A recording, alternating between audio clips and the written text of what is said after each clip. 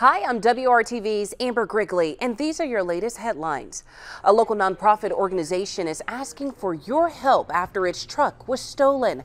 Servant's Heart of Indy provides food, clothes, toiletries, and even furniture to families and people in need. Well, on Friday, their box truck was stolen. The organization had just purchased the truck last month after looking for one over a span of three years. Now, the security footage, which was given to the organization by neighboring businesses, appears to show three men breaking into the vehicle and driving away.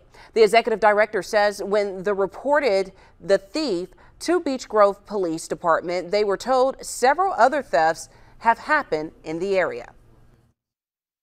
Been several thefts of vehicles in this complex and catalytic converters. So we've appealed to our new owners to see about doing some more security uh, cameras and bodies on, on site. Now take a good look at your screen. This is what the truck looks like. Since Servant's Heart of Indy only had it for a few months, uh, they weren't able to put their own logos on the truck. Now we reached out to Beech Grove Police for an update on how the search is going but haven't heard anything as of yet. Kyle?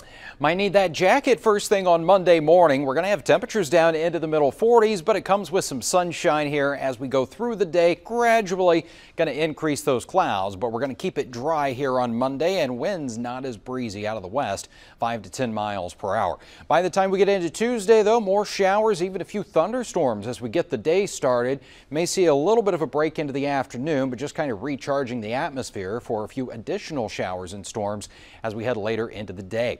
The extended forecast dry on Wednesday, then another chance for some rain, even a few storms by the end of the week. Right now it looks dry and mild for Mother's Day.